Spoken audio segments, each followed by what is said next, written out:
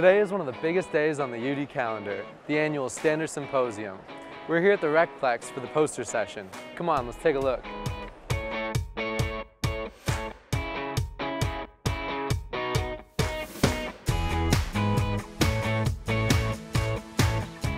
We're studying how invasive honeysuckle affects aquatic macroinvertebrate Sex populations. differences and concussion-based attitudes among college Voluntary exercise could reduce anxiety-like behavior We found that music, stress. regardless of tempo, makes you more inclined to run faster. forecasted U.S. CPI to find looking at inflation. whether or not positive interactions exist between multiple invasive species and I'm developing an app for home fur.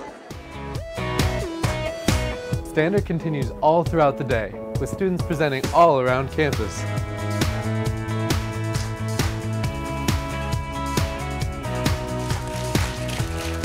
Stander celebrates academic excellence at Dayton. Nearly 1,300 students are participating this year, from first year students to graduate students, representing majors from every school at UD.